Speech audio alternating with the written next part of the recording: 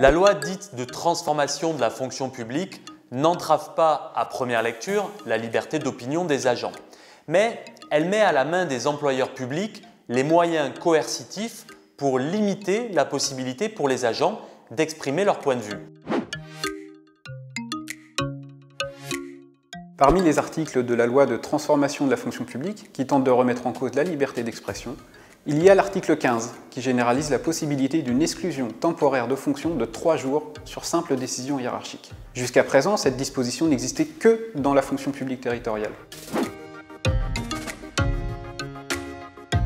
Autre exemple qui alerte sur le risque de limitation des possibilités de contestation des agents, c'est le recours accru aux contractuels.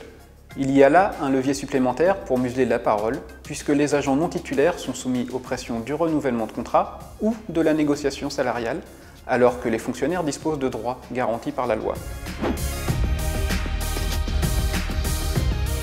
L'agent public est soumis aux obligations de neutralité et de discrétion, voire de secret professionnel pour certaines professions sans que cela ne limite sa liberté d'expression. L'agent a, comme tout citoyen, droit à la parole dès lors que ses propos ne sont pas injurieux ou diffamatoires et qu'ils n'incitent pas à la haine.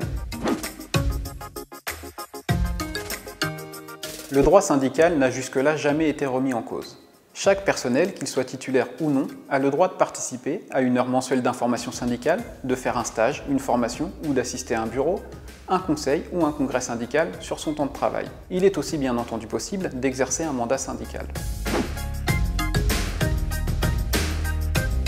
Au final, pour la FSU, la loi de transformation de la fonction publique porte de nombreuses orientations qui vont à l'encontre de la liberté d'expression en dénaturant le principe même du statut et en supprimant certains droits qui sont liés directement aux notions de débat et de confrontation des opinions nécessaires à la démocratie. La FSU en exige l'abrogation.